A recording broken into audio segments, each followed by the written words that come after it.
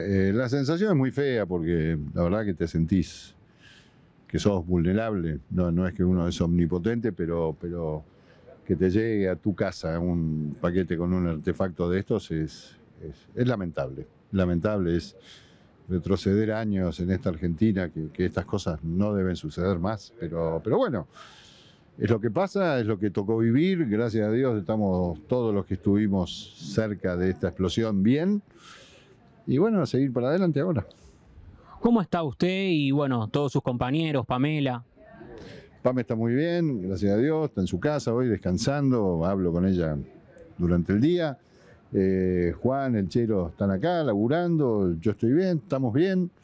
Eh, bueno, hay que asimilar esto que pasó, no amedrentarse, no, no acobardarse, seguir para adelante, pero, pero bueno, hay que, hay que pasar el, no hay que minimizar lo que pasó. De manera protocolar, eh, creo que es la ciudad de Buenos Aires, eh, la gente de, seguridad me, me, sugieren tener una custodia en lo personal y como en la institución, así que bueno, vamos a aceptar lo que, lo que propone la ciudad con su experiencia y con la manera de manejar estos episodios, así que bueno, seguiremos para adelante viendo a ver cómo, cómo se van dando las cosas y minimizando también las posibilidades de que esto vuelva a suceder.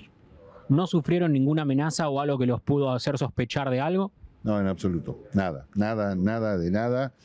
Eh, ayer era un día normal, tranquilo, con las reuniones que uno tenía previsto, nada, nada me hace suponer que haya, primero, no la recibí ni, ni, ni de forma directa ni indirecta, ningún tipo de amenaza.